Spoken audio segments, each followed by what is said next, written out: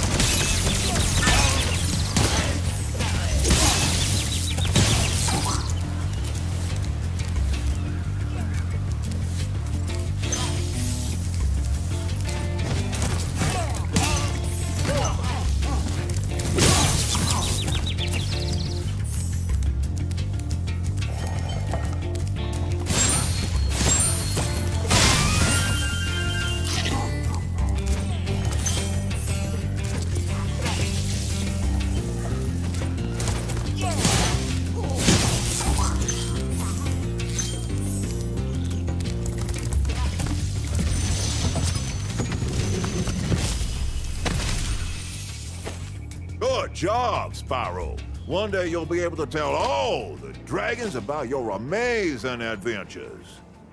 Sure, but what I'd really like to do is get out of this swamp.